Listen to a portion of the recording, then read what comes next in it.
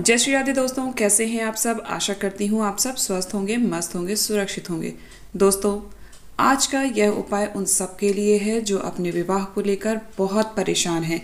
काफ़ी लंबे समय से प्रयास कर रहे हैं, लेकिन विवाह नहीं हो पा रहा है।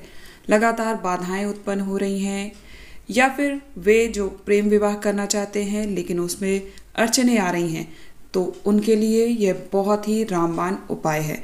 दोस्तों, उपाय बहुत छोटा सा है, अत्यंत सरल उपाय है।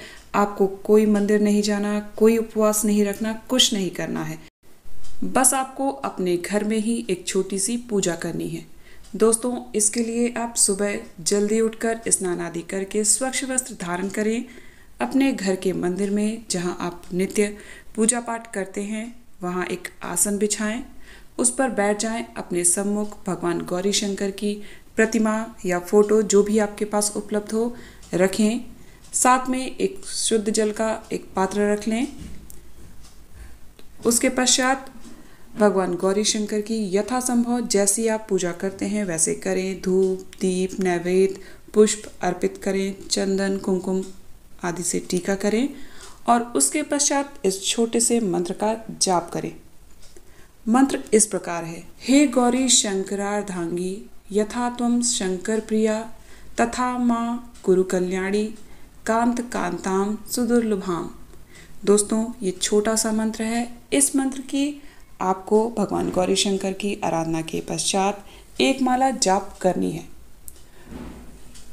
यह जाप आपको सुबह और शाम शाम को प्रदोष काल में नित्य प्रतिदिन करना है।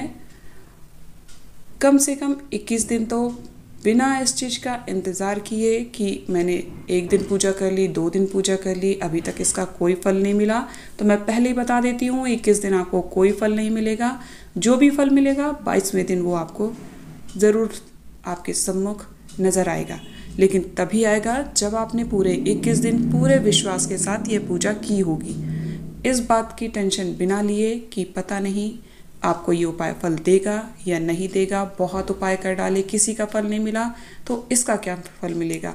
चलो एक बार आजमा कर देख लेते हैं। इन सब विचारों के साथ अगर आप ये पूजा करेंगे ये मंत्र जाप करेंगे तो आ, मैं पहले ही बता देती हूँ आपको इसका कोई फल नहीं मिलेगा।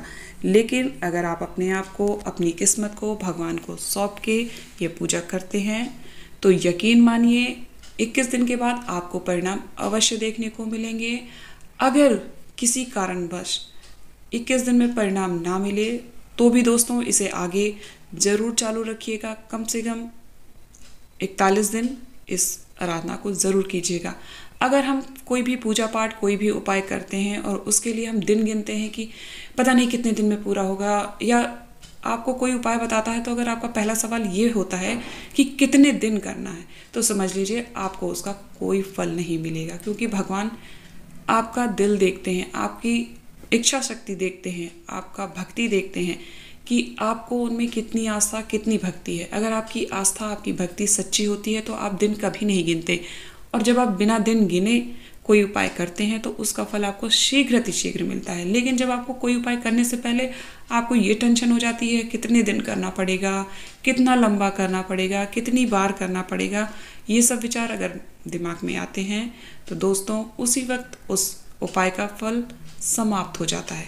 इसलिए ये सब बातें दिमाग में लाए बिना बस आग बंद करके भगवान पर विश्वास करके इस उपाय को अवश्य कीजिएगा। दोस्तों, यही मंत्र, इसी मंत्र का जाप माता जानकी ने भी गौरी माता के सम्मुख भगवान प्रभु श्री राम को प्राप्त करने हेतु तो किया था और उन्होंने तो पूरे विश्वास और श्रद्धा के साथ किया था।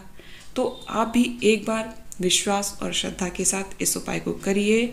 खुद को भगवान गौरी शंकर को सौंप कर कि आप ये उपाय कर रहे हैं, बाकी वो संभालें।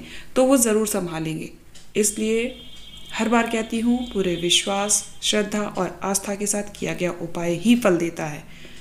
एक बार करके ज़रूर देखिए। देखिए नहीं, विश्वास के साथ करिए। इसका रिज़ल्ट आपको अतिशीघ्र प्राप्त होगा।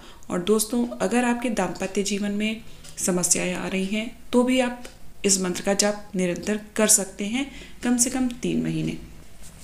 इससे आपके दाम्पत्य जीवन में खुशियाँ आएँगी। और एक बात और बता दूँ, यह उपाय आपको किसी भी सोमवार के दिन से शुरू करना है और आपको यह उपाय अपने लिए स्वयं करना है। ना तो माता पिता आपके लिए कर सकते हैं, ना कोई और। ये आपको अपने विवाह की इच्छा पूर्ति हेतु स्वयं करना होगा। छोटा सा उपाय है, बहुत ही आसानी से किया जा सकता है। एक बार ज़रूर करिएगा। उम्मीद करती हूँ आपको उपाय समझ में आया होगा अच्छा लगा होगा। अगर उपाय अच्छा लगा है तो प्लीज़ वीडियो को लाइक और सभी के साथ शेयर। तथा चैनल को सब्सक्राइब ज़रूर कीजिएगा। मनोकामना पूर्ति है तो कमेंट बॉक्स में हर महादेव ज़रूर लिखिएगा। मिलते हैं नेक्स्ट वीडियो में एक और नए उपाय के साथ। तब तक आप सब हँसते रहिए, मुस्कुराते रहिए, खुश रहिए। जय श्री राधे हर हर महादेव।